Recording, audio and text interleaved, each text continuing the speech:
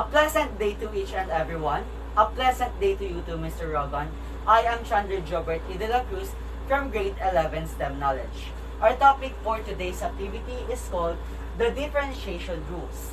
In our topic, we discussed five rules so far.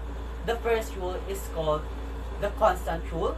The second rule is called the power rule.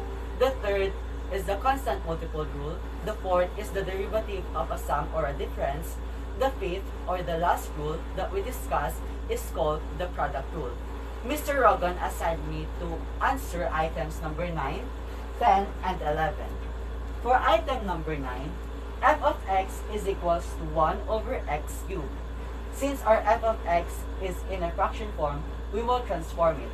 So f prime of x is equals to x raised to negative 3. Applying the power rule, where if f of x is equals to x raised to n, then our f prime of x is equals to n x raised to n minus 1.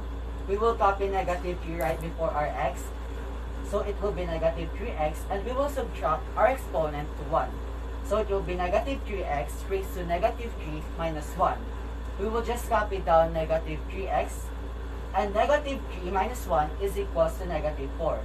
Therefore, our f prime of x is equals to negative 3x raised to negative 4 or negative 3 over x raised to 4 in its fraction form. For item number 10, y is equals to negative 4 over x raised to 20. Since our y is also in a fraction form, we will again transform it. So it will be y prime is equals to negative 4x raised to negative 20. Applying the power rule, we will put negative 20 right beside our negative 4x. And we will subtract our exponent to 1. So it will be negative 20 times negative 4x raised to negative 20 minus 1. Negative 20 times negative 4x is equals to 80x and negative 20 minus 1 is equals to negative 21. Therefore, our y prime is equals to 80x raised to negative 21 or 80 over x raised to 21. Moving on, item number 11. y is equals to 10 minus x plus 12 over x raised to 5. We will copy 10 minus x and since this part is in a fraction form, we will again transform it. So our y is equals to 10 minus x plus 12x raised to negative 5.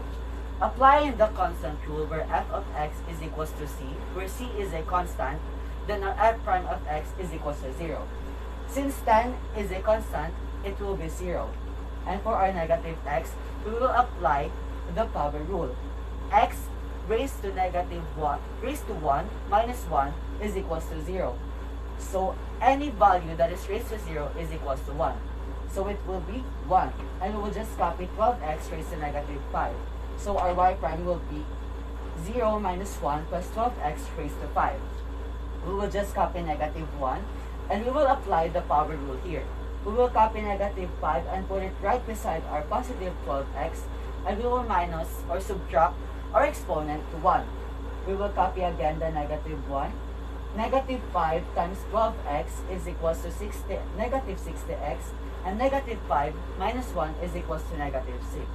Therefore, our y prime is equals to negative 1 minus 60x raised to 6 or negative 1 minus 60 over x raised to 6. And that's the end of my presentation. I hope you learned something. Thank you.